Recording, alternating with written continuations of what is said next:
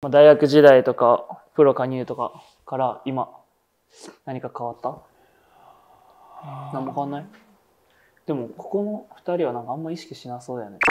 ナチュラルで生きてそう。いや俺ね意外と最近ね割とちゃんとしてる。ちゃんとってもともとさ、そんな食べなさそうじゃない？なんていうの？悪いもの。いや食べるよ。食べる？食べてたね。うんあでも最近ちょっと控えるようにしてる。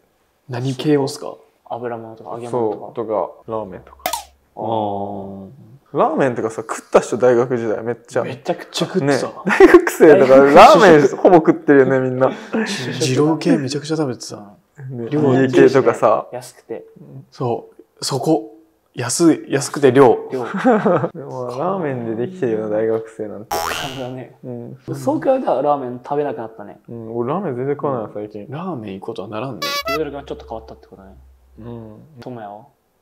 なんかちゃんと朝食で米食べるようになった。朝食食べてんの？食べる。食べる食べてないの？朝食どこで食べてんの？家で。自分で作ってんの？自分で作ってるけど、まあ、ご飯炊いてあと納豆と。ガチで？うん。朝から、あ朝からとか前日にセットする？あ、うん。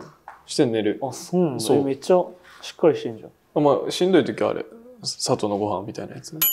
しん しんどい時って別にさそれ前日忘れちゃったりした時ああなるほどね。そういうことだからちゃんと朝朝ごはんを食べるようになった。大学の時は菓子パン1個とかああ平気だったから。俺もず食べてるけどね。ぐらい。常に食べてない？俺朝、日によるね。てか大学の時に朝ごはん食べなかったの。基本的に。うん。朝早すぎて。あ食べないで練習するって体ついてるから、なんか、今もその食べなくても、あそっか。大丈夫。明治朝練だからうん。あ食べないや中大も朝練だよ。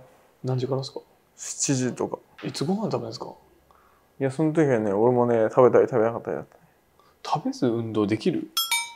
できる。俺はできる。俺もできる。つくんだ体そういうふうに。でも俺朝ごはん最近食べるようになったの逆に。食べるようになって体脂肪ちょっと上がって、今またやめた。いいんかねそれは。いや、どうなんだろうな。